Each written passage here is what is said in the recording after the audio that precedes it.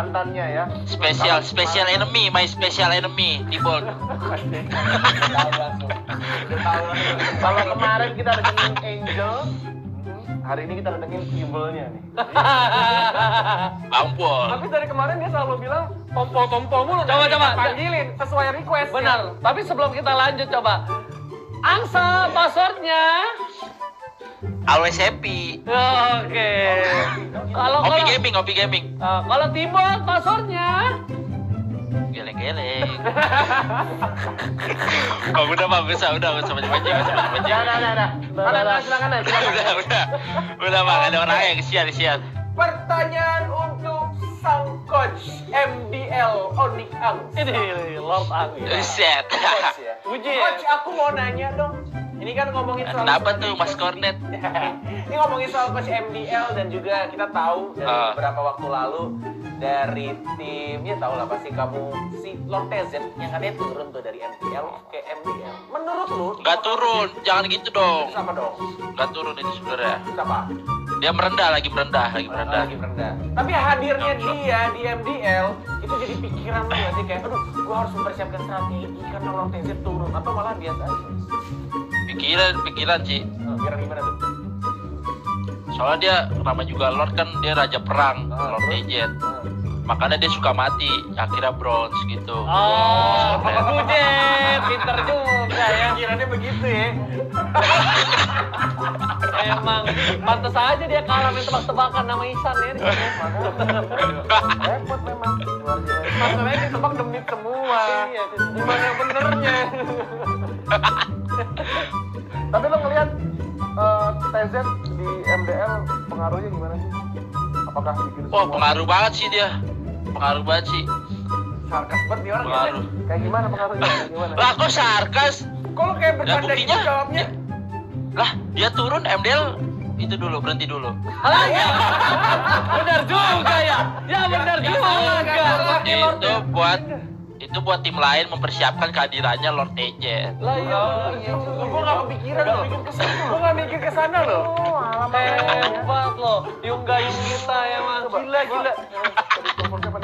Halo, Lukas? Oh, kemarin. Oh, I see. Iya, Ah. ini gua telepon Lukas katanya begitu kemarin. Iya, ada maintenance. Hmm. Masalahnya dia, dia tahu nggak Lukas? Oh iya, lu Dia nggak tahu tahu nggak? Lukas lagi ya, sorry, sorry, sorry. Yang tahu Lukas, tempat gua doang. Lukas. Iya makanya. Kita kan tahu ya. Coba, coba Angsa. Menurut lo Lukas siapa? Bukan abang-abangannya Lord Agent kali. Wah, gila lo. Waduh. Eh ID lo di band seumur hidup. Wah, Bukan, ID-nya diganti Ah. ntar dia. Iya. wah jangan wah. Wah kalau yang ini jangan wah. Emang- Ingetin, jangan, Wah. Emblem level 1 Emang Lukas siapa? Sisainnya Laila. Panik, bukannya panik. Wah, Kalau yang ini jangan ya wah. Kan kemarin kan pencetan mukul di kanan, Ah. gerak di kiri. Ah. Sama Lukas punya dia ditukar. Diputer ya. Wah khusus yang ini gua tem- CS sama lo jangan ya wah. Tolong ya wah yang ini jangan ya. Dia dia yang punya Mobile Legend. Aduh, aneh nggak bisa ngomong apa-apa nih wah.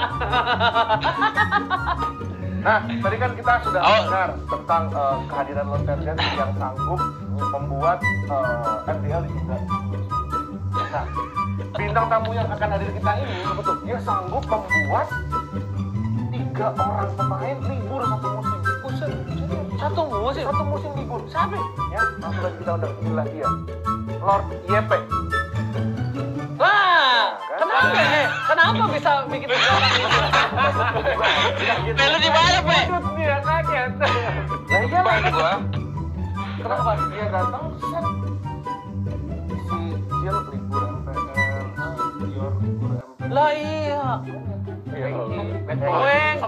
bad boy.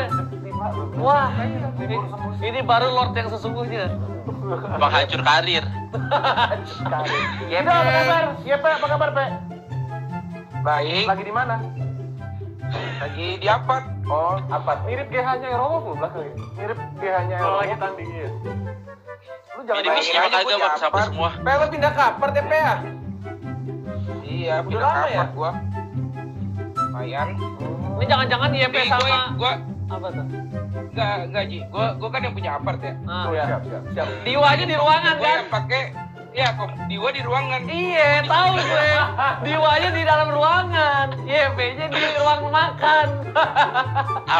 Tamu adalah raja. Oke, kalau gitu eh, langsung aja ke pertanyaan buat lu, Pe. Seandainya kalau lu balik kayak scene MPL, Pe. Punya dream team gak sih, Pe? Lu pengen mainnya sama siapa aja? Enggak ada sih. Bener-bener nggak- Waktu itu kan lu sempat cerita lu mau main sama Rek lagi. Iya, itu mah udah lama. Sekarang mah udah jadi publik, udah biasa aja. Oh gitu. Ya, sedih deh. Iya. Season depan katanya main. Loh, eh pas Indo kan juga Bocah, jadi. kenapa nih? Bocah nih. Bocah nih, bocah nih. Kenapa nih bocah nih? bocah nih kenapa, Be? Mak Lambe gitu ya, langsung kita semua aja. Enggak lah. Tapi emang gak ada niatan main Ya, lagi, ya. Pak, kompetitif, Pak? Ada, ada di depan. Di depan, ada di depan. Oh, sama Ipon. Iya gimana, Pe? Aman aman. Enggak, enggak, enggak main itu. Eh, Aman, aman. aman aman. aman. Eh, Iya, satu-satu itu Member ya. namanya satu-satu.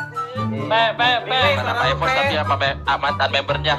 Iya, soalnya kan lu delay, lo nggak pakai komputer sih. Iya, lu nggak pakai komputer Oh. sih, delay. Heeh. Modal dikit, Ya Pe. komputernya, komputernya diambil temen gue. Pe. Kenapa? Nih YP sekarang ngomongnya udah kayak diwa nih, sumpah nih lama-lama. Iya, Kebanyakan bener, banget ya. Lanjut, Oci. Pe, gue mau nanya nih, Pe. Gaul gini. Pe. Dan gue pengen minta sama lo nih, Pe. Sebutin lima orang yang menurut lo outstanding di MPL dari masing-masing role, apa pun itu. Role-nya. Yang menurut lo bersinar shining bright selain last landing. Sans, sans, sans. Sans. Sans, Midland Iya. tuh. Rainbow. Rainbow support. Iya. Semuanya role-nya beda-beda. Iya, iya, beda-beda role boleh. Pas tuh lima jadi. Oh.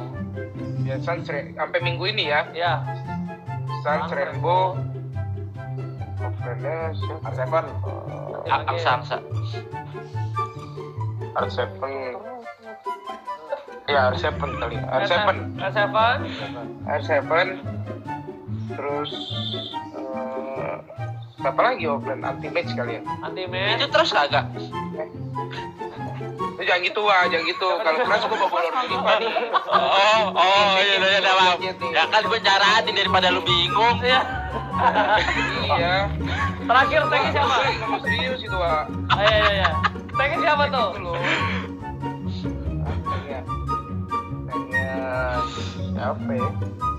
Fredo kali ya, tapi ya, tapi ranking 7 tay. Eh, iya. Tapi dari gameplaynya memang week pertama Fredo galak ya, Pe. Emang Fredo juga jago sih, Pe. Zoni zoningnya udah kayak Danki zaman dulu bandel, tipikal tank nakal.